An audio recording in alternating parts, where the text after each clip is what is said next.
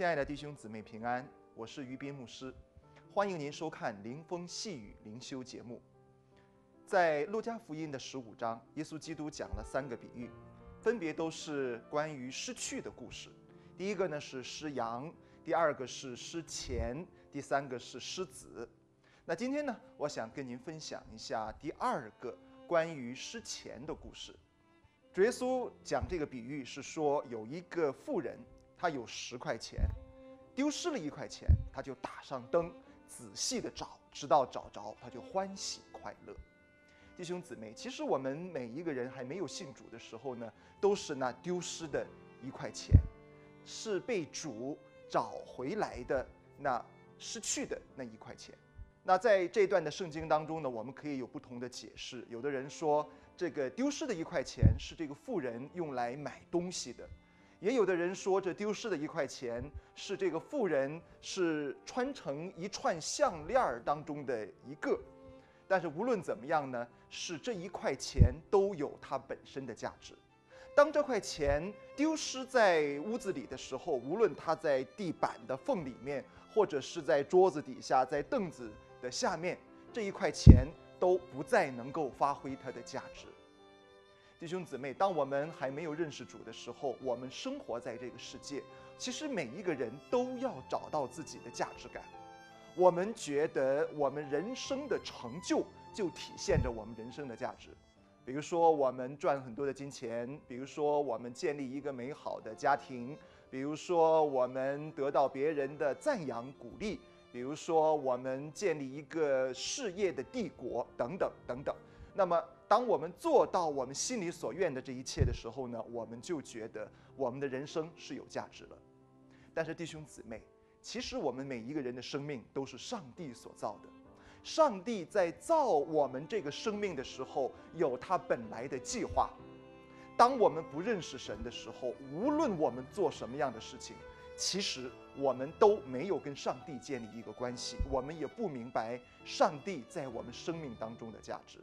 直到我们有一天被神找回来，我们来到神的面前，我们成为上帝的儿女，其实我们才真真正正明白我们生命的价值。弟兄姊妹，你生命的价值绝不仅仅是因为你在这个世界上创造了多少价值，绝对不是因为你在这个世界上多么成功。绝对不是因为你的家庭多么幸福，绝对不是因为你多么出色、多么优秀。我们人生的价值乃在于你是上帝按照他自己的形象所造的。你人生的价值乃是在乎耶稣基督神的儿子为你钉死在十字架上。你人生的价值乃是在乎上帝在我们这个平凡普通、如同尘土一样的人的生命当中赐下他美好的旨意、他美好的使命。他盼望我们的生命能够荣耀他的圣名，他盼望我们的生命能够完成他给我们的托付，他盼望我们的生命。可以成为一个恩典和祝福流通的管道，让许多的人借着我们的生命而蒙受祝福。亲爱的弟兄姊妹，上帝是创造我们生命的那一位创造主，他在创造我们生命的时候，已经在我们的生命里面写下了我们生命该有的价值。假如我们不认识上帝，假如我们的生命与上帝没有连结，世界上所有的成就都不能够真正的体现我们生命价值的所在。弟兄姊妹，你现在已经是一个基督徒了，你不要仍然的像世界上的人一样，用世界上的成就来衡量自我的价值。你不要忘记了，你如今乃是创天造地的耶和华的儿女，你是他所爱的，你是他儿子的生命所买赎来的，有上帝最美的旨意在你的生命当中。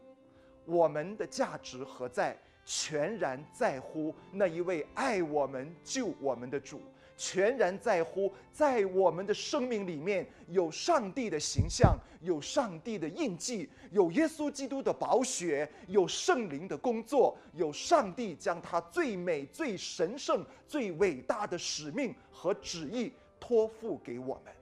我们一个平凡如同尘土一样的人之所以有价值乃是因为我们这平凡的生命与神圣的上帝连接在一起这就是我们生命的价值。